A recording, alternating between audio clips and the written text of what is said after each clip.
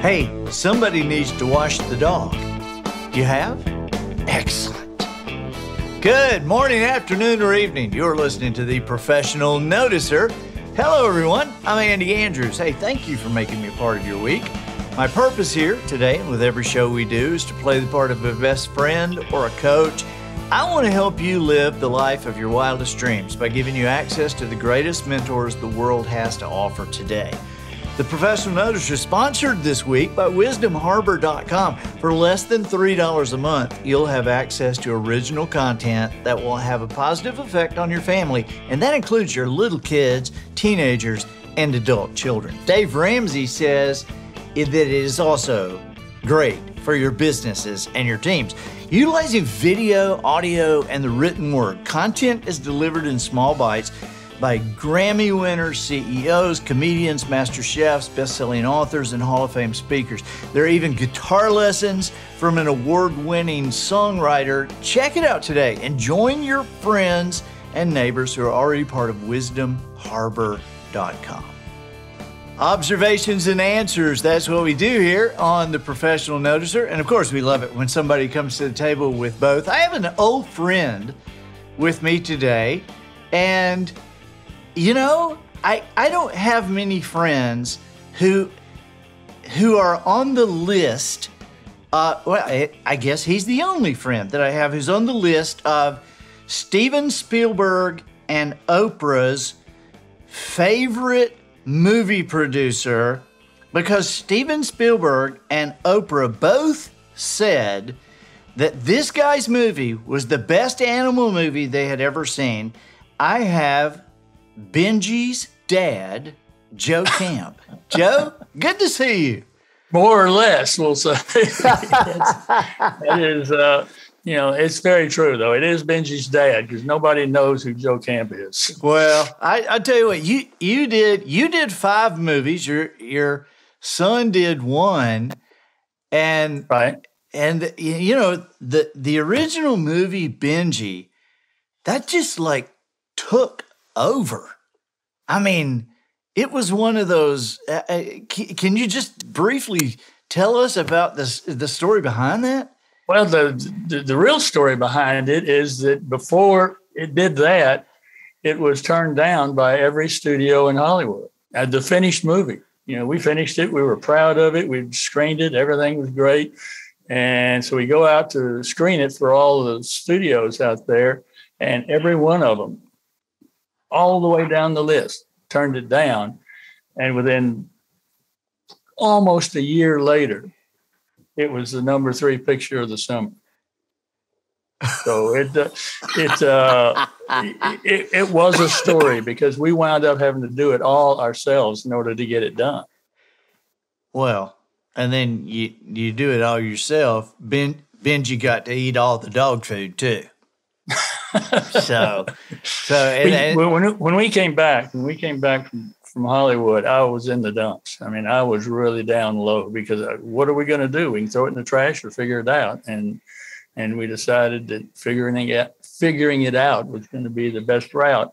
And so that's what we did. We just bought, you know, bit the bone, so to speak, and uh, formed a distribution company, and off we went. And the entire uh, uh, distribution on the movie was done from our little office there in Dallas. Wow! And you you have moved now. You are in Bell Buckle, Tennessee, south of Nashville, right? Right. right. Do you, Do you know um, Russ and Tori Taff? Who? Russ and Tori Taff.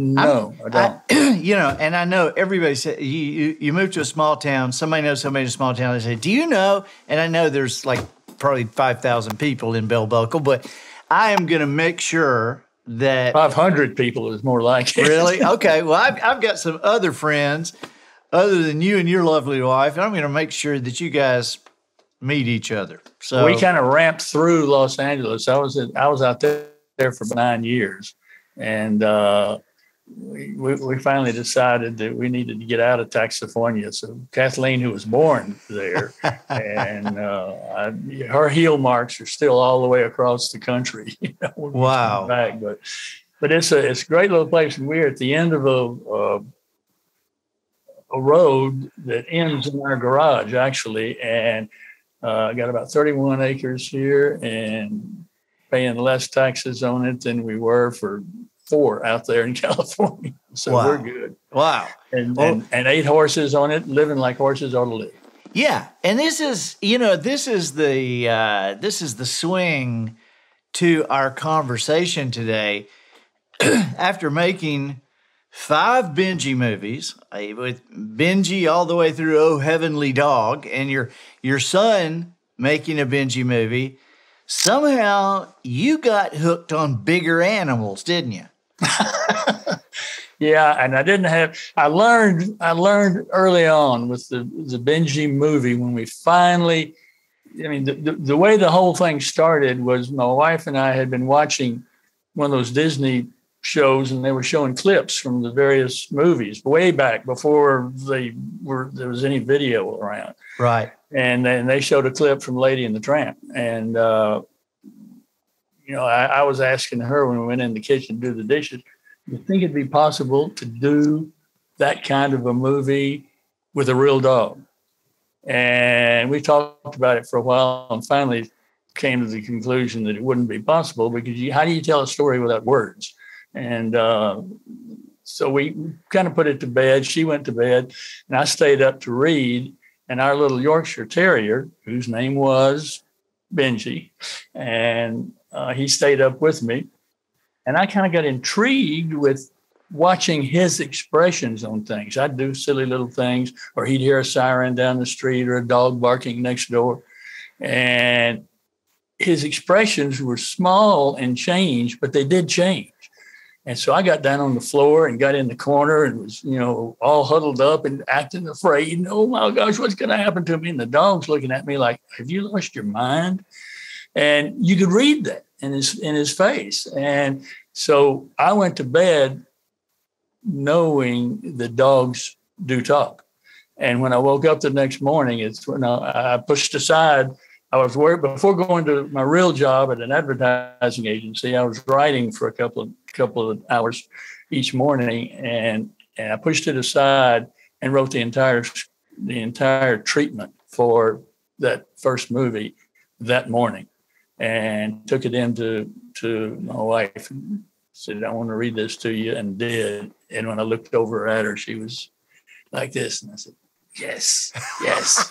I think we got it, and we got it by by depicting what the animal was feeling, not what the animal was doing.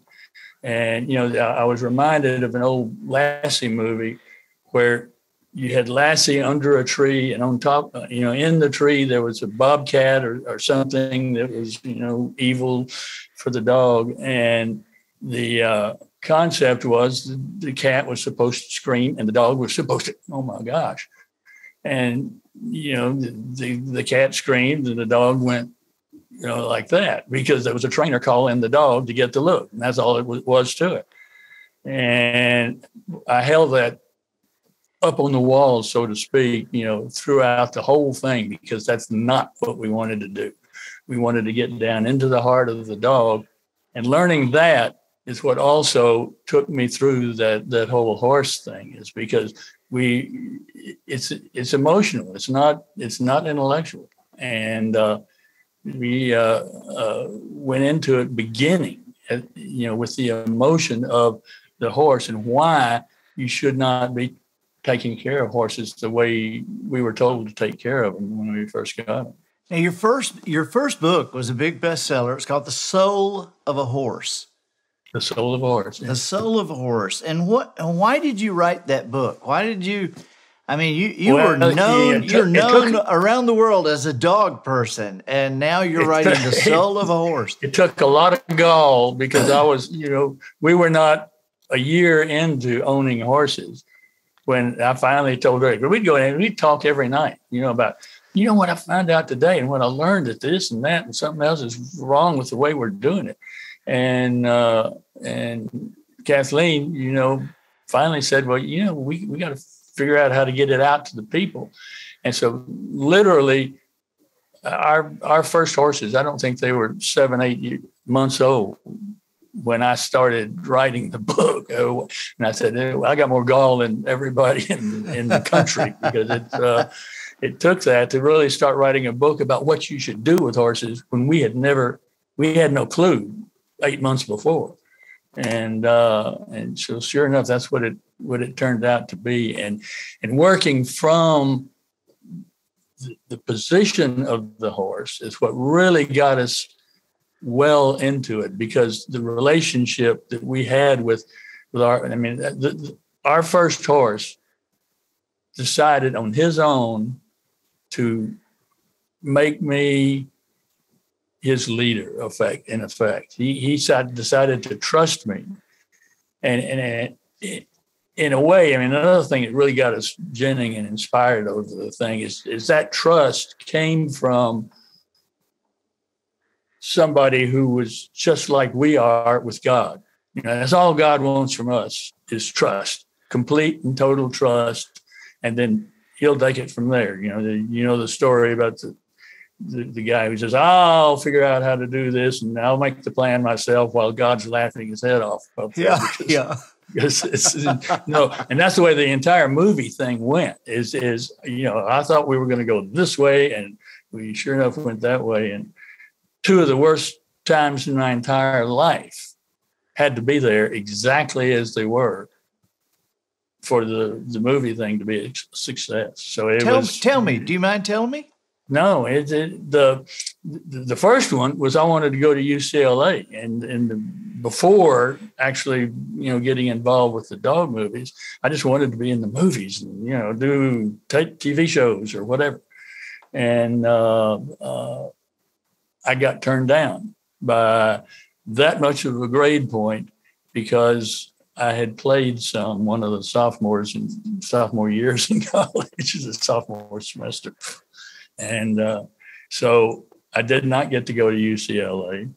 Had to go around the world to get into the movie thing. Eventually, did, and nobody wanted to finance the movie, so we did it ourselves and raised the money separately, and and uh, you know got the whole movie made, and then took the movie out there to, to Hollywood and turned down by every studio in in the lot, and both of those things had to happen exactly as they happened. I almost gave it up both times because uh, you know what's the point? You know when you can't even get the education you want, or you can't even the movie, you know the the the movie was on the floor, you know, literally. And uh, so I had to buckle down and, and figure it out. But when I did, you know, I, I, I finally began, you know, he had to slap me around a little bit, God did, but I, I, I finally began to get the, the picture that, okay, he's in charge, not me.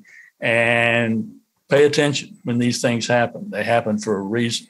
And the reason it happened is that had we gone to LA, I would have probably been in, you know, sitcoms or something, you know, before it was over with.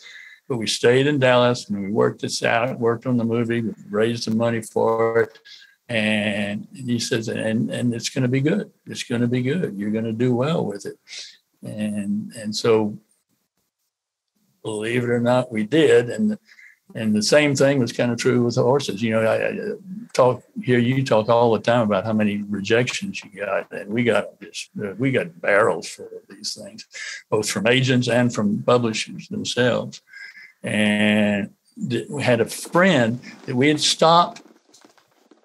A friend in Idaho. He's a vet, and he's he's been on uh, Good Morning America is a recurring vet and that sort of thing, and he's done some of those. Uh, uh,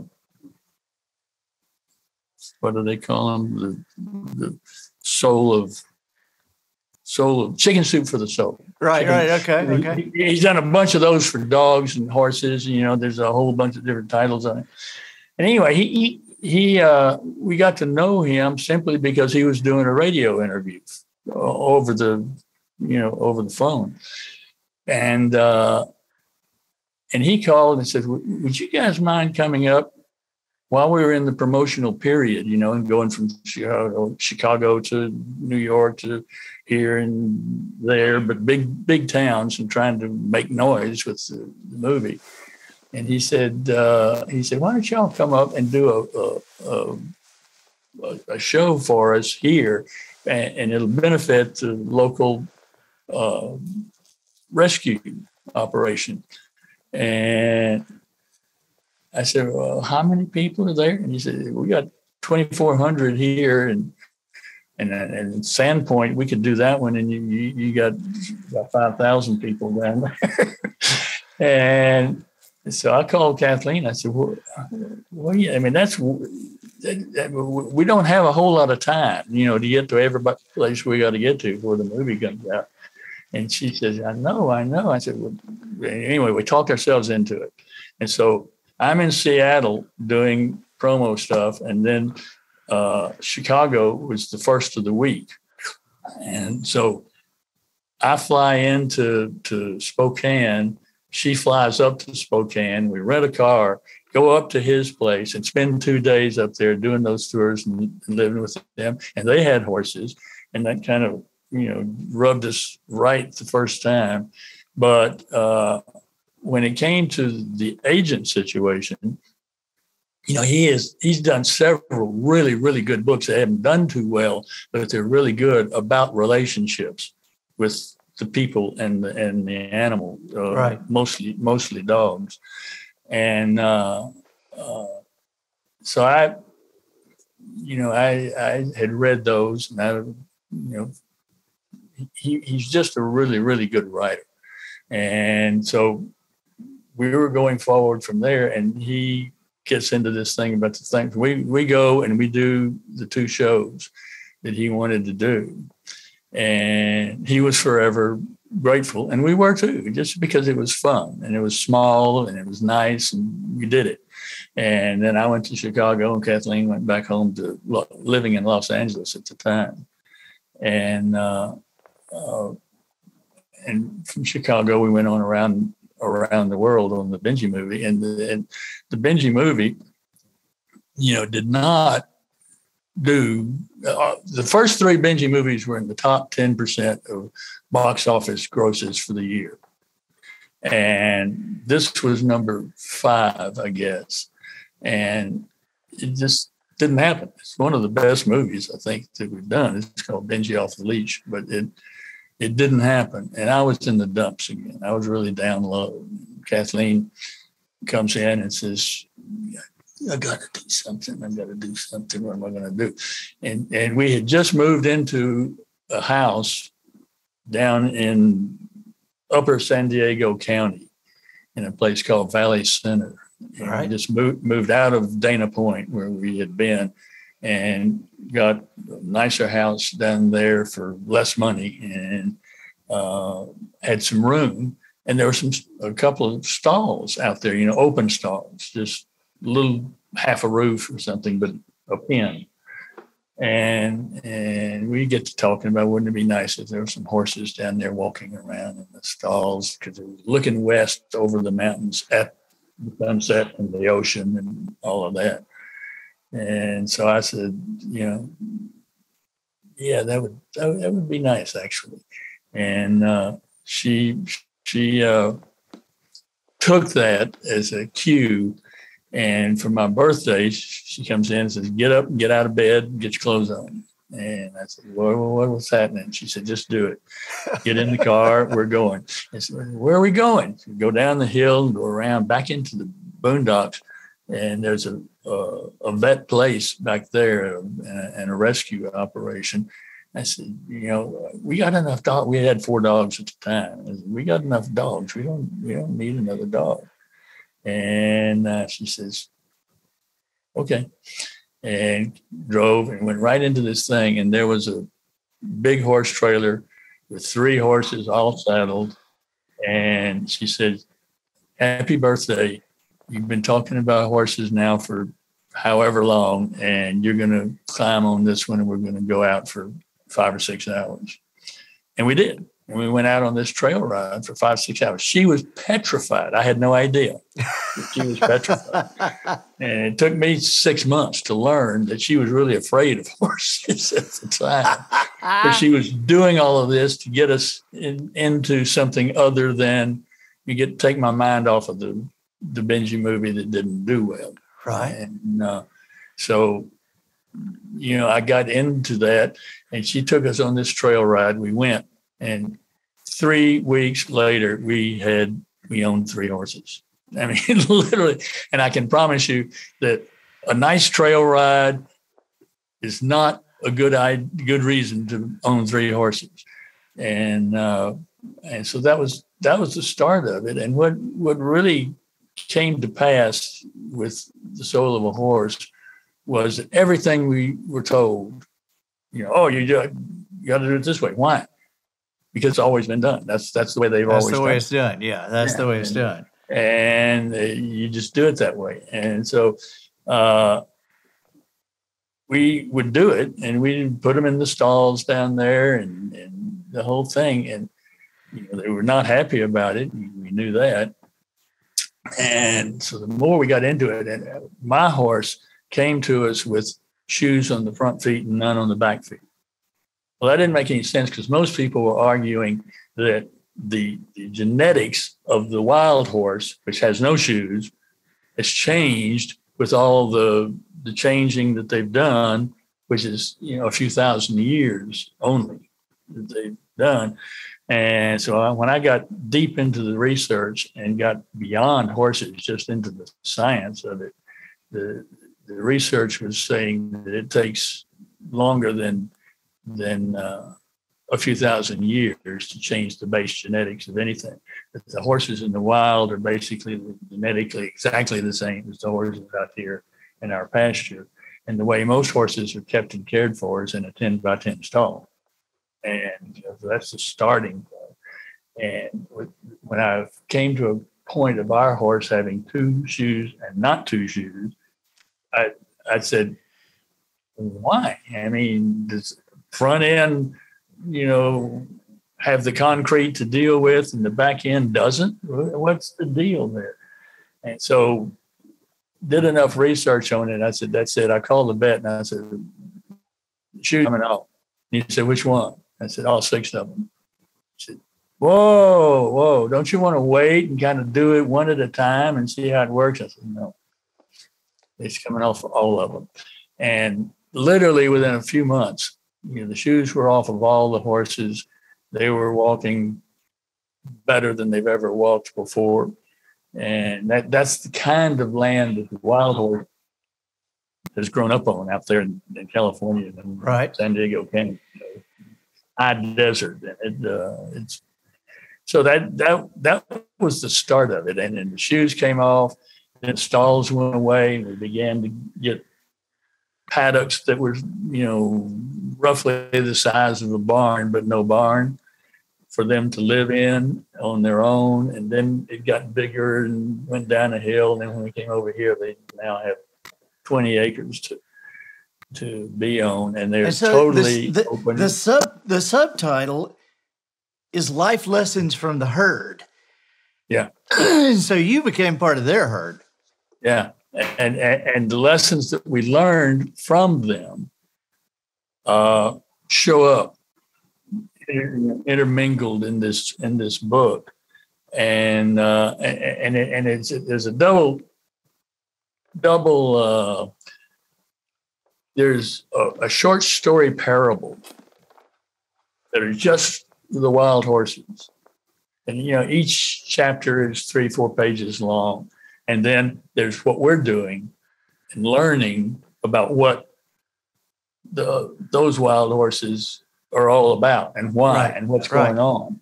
And it kind of goes that way all the way through the book. There's there's the wild horse story, and then there's the our learning story and how aghast we were that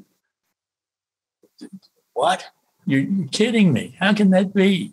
Right. How can there that many people be that wrong about what's going on?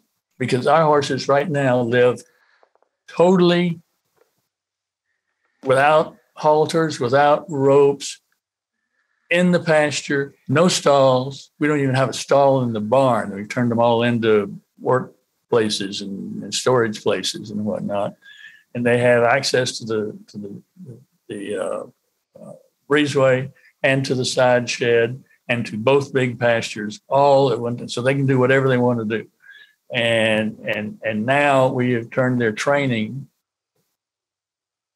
probably I guess seven eight years ago we turned their training into just total, totally uh, training at liberty. In other words, they have no halters, no ropes, no anything. They come. Do you ride them? Do you ride them? We we did. We haven't ridden much in the last couple of years, and haven't ridden at all. I guess in the last year, just you know, I'm getting old. And you ain't old. But, but it never was the big thing with me. We we had a date in California where we would go every Thursday and eat a picnic lunch, and our two horses would come and eat with us and eat the apple while we ate the sandwich, and you know that sort of thing.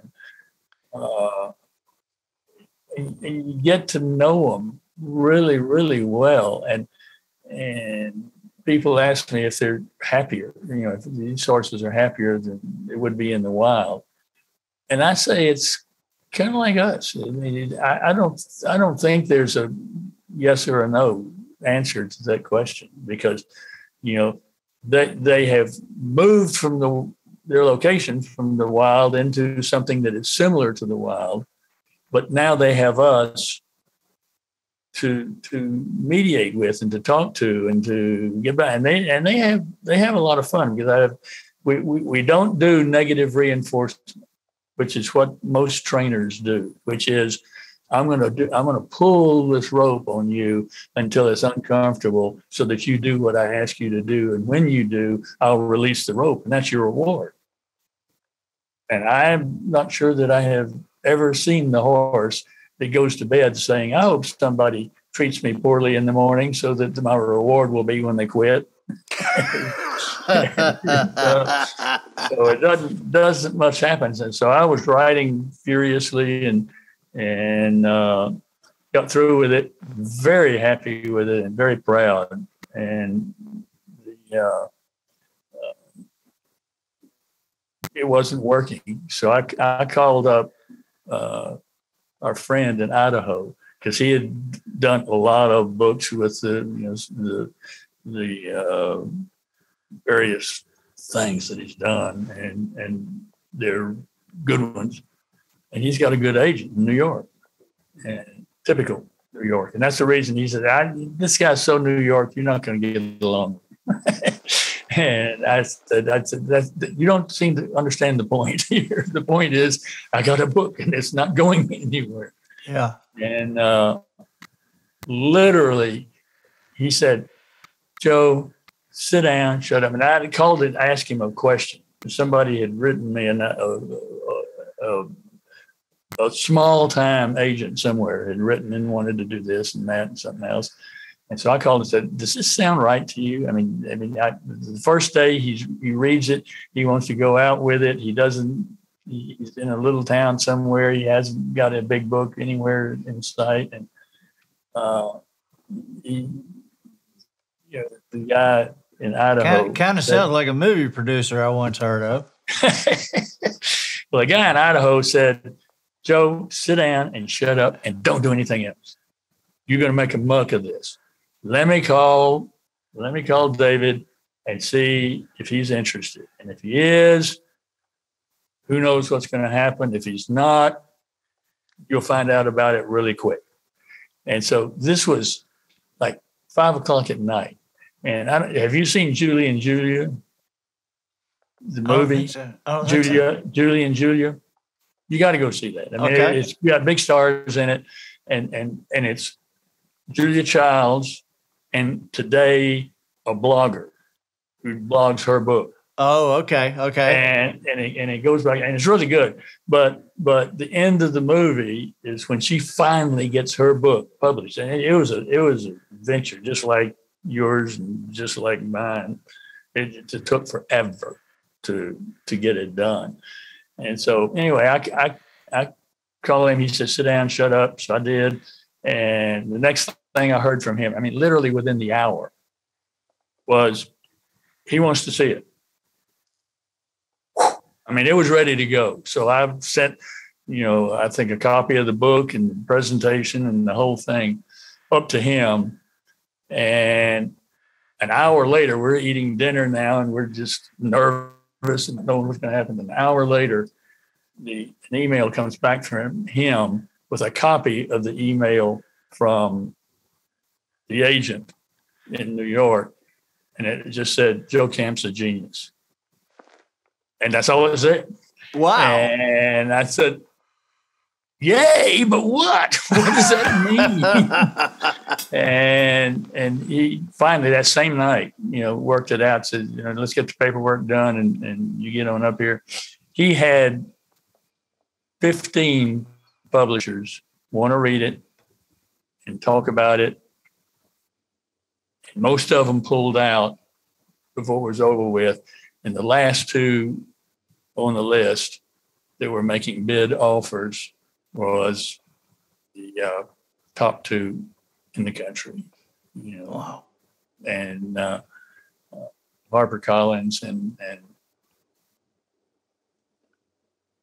they've changed their names so often. I don't. I Random, don't. Random House, Right. They do, don't they? And uh, and so yeah, he took it. And, and it, literally inside of a couple of weeks, had meetings set up at both those places. And we went up, did the meetings. They bought the book, and then broke the news to me that it was about two thirds the length of what it needed to be. so I needed Yeah. to yeah write there's another always something they don't like. Yeah. And But so I your new your new and, book. and, it's, uh, and uh, like normal, it's one of the, you know some of the best stuff in the book. It's the stuff I didn't want to go back and do. right. But your new book is Love Your Horse First. Say again? Your new book is Love Your Horse First. Yeah, yeah. Tell I stole that. that. literally from a, a a T-shirt that I saw that says "Love your horse before the sport," and I thought that was so appropriate. I didn't want to title a book that way, but "Love your horse first is is is really good, and that's what the whole thing is about. And it's for the subtitle is for beginners only, but it is a tongue-in-cheek subtitle because I mean, yes, it's for beginners, but it's also for anybody who wants to start doing it right. Wow. Doing it the So is should it be. available now? Yes, it's, right. it's about a week ago. Okay. All right. Well, we will we will put people on this. What can they expect to learn, and what what can people that they maybe maybe they don't have a horse, but they want to learn about horses and want to learn this these methods. What what can they get from this book, Joe? Well, that's that's the greatest person to get is, is somebody who is that new and can learn how to do it what we call the proper way. No stalls, no shoes, no sugar in their diet, and etc. And and this book really pretty much says everything that we've learned for the, the past 17 years in one book for that for that beginner or the person who wants to look twice at how they're dealing with it and and go from there. Because it's it's we refer to a lot of the horses these days as motorcycles. Because it's it's something that you know the owner sees once a week when she goes to ride in the event and everything else is taken care of in a stall by the uh, you know the person who is running the stall and running the, Right. the show and so forth. And, and a lot of the people you know just don't care. You know they they say hey, that this is what it's here for. This horse is here for me Well, my fa- my favorite horse lady, Fancy Bullard, down here in Point Clear, Alabama, she's gonna love this book because she's all day, every day with her horses. That's great. That's great. And, and what we'd like to do is, if she if she hasn't done it already, is to get it into a uh, at liberty situation because nothing's better than to have eight horses twice a day. You go down to feed them, and they have to be in a certain spot because if they're not, they're going to eat somebody else's food, or the, somebody else is going to eat theirs. You know, so they they all have to be kind of away, uh, and, and, you know this one eats fast, this one eats slow, and et cetera, et cetera. And uh, and whoever we, we have a thing called no agenda time, where we go down. There's one horse that is a Mustang that came to us right out of the wild, and I was so young in the business, or new in the business, that I made some terrible mistakes with it, and it, it has taken an enormous amount of time to get rid of the fright. I mean that that's built in. You know, these are these horses are all every horse is a flight animal because that horse is has no way to defend itself, you know, but run. And and it's a it's a big large rabbit or whatever you want to say about it. And and so it, the, the idea is that it you know that you get next to that horse and you don't make it or try to make it trust you. I mean, a, a lot of the trainers say, you know, yeah, the first thing you want to do is to make this horse respect you.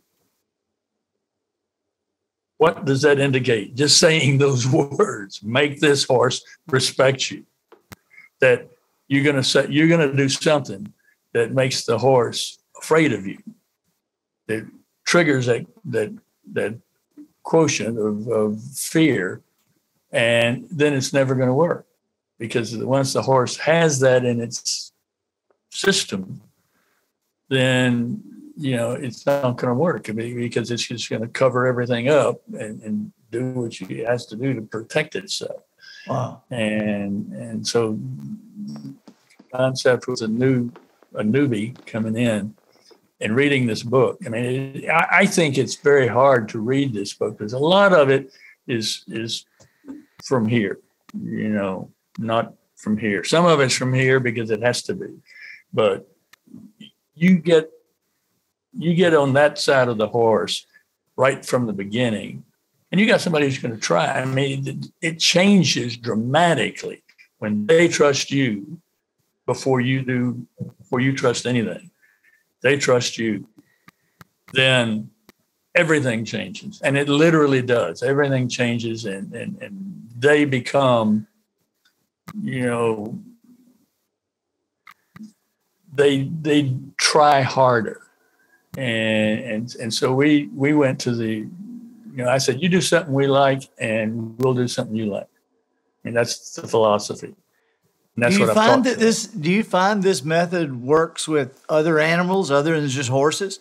Sure, of course. I mean, I, am taking it, I'm stealing it from dogs, you know, because that's what we're doing. We teach the same thing to the to the horse that we you know we always taught the dogs concepts. You know that that uh, give me your foot, okay, the other foot, okay, and and then what happens is you can say, go to the chair. No, the other chair. Which other chair? Oh, that, okay, fine.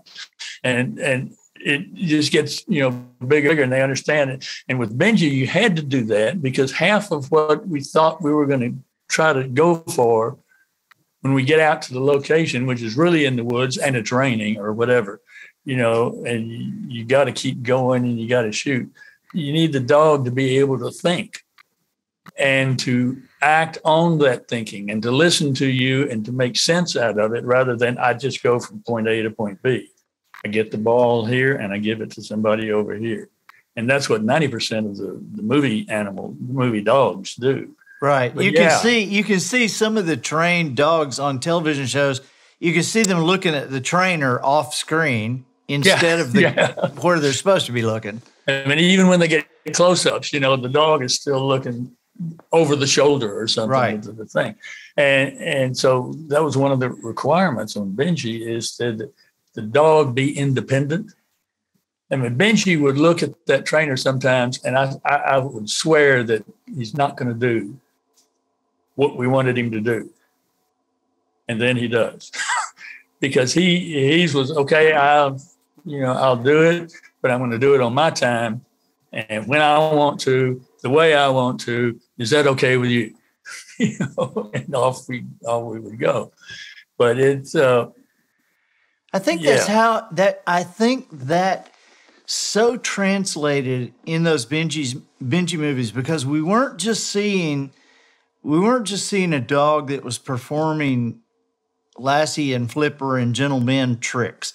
It, you know, it, it, Benji was looking into the camera, and we and we were able to look in. It, it, was like we were able to form a relationship with that dog.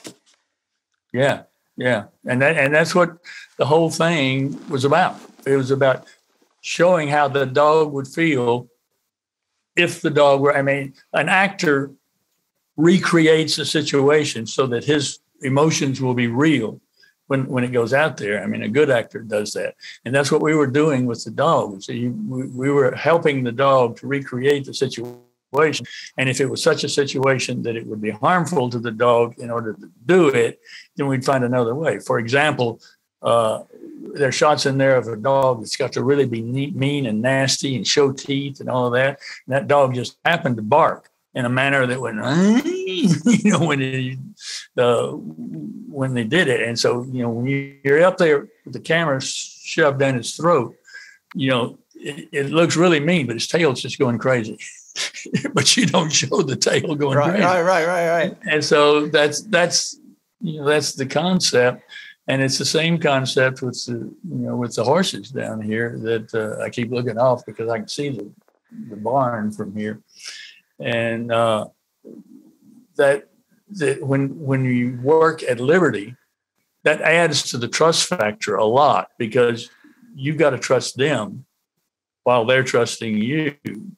And they realize that and they realize that. And and and the vocabulary some of ours have a really really good vocabulary. And some of them have a vocabulary but it's not that good because i haven't spent the time with them. When you got eight of them and, uh, and make the rounds and they all know how to smile you know you do this and go and and that and they learn that stuff and they come up now they come up and say no no no no we're not going there we're not going there. And then they do something else and then do something else. And okay okay fine here. But that's that's the concept is you do something we like and we'll do something you like which is not the concept of the normal training the normal training is he's not going to like it but he's going to do what you want because you're going uh, to make him do it well, and we've we found in so many areas of life that the way things are done will work, but the way things are done are often not the best.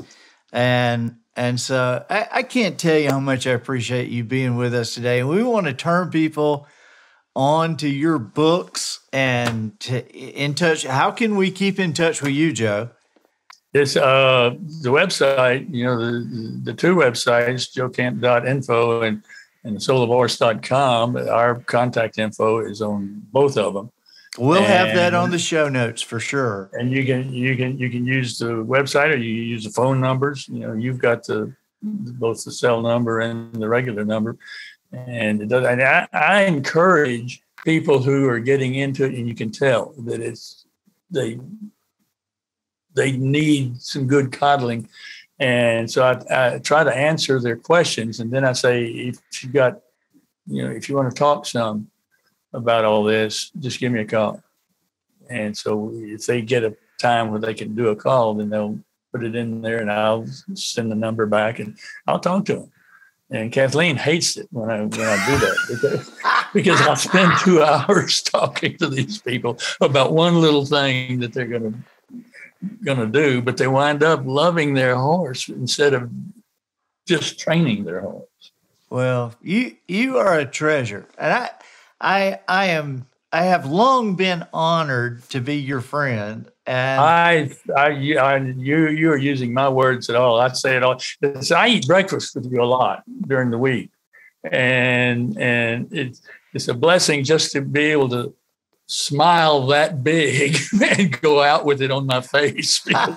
you do. You you you migrate it to to do that. I'm so tickled that you come to Nashville every once in a while. Well, I, I am gonna we're we're gonna we're gonna connect. We're gonna connect up there real soon. I'm just That's telling great. you. And Love tell it. Kathleen I won't take too much of your time so she won't be mad at me. No, I'm not.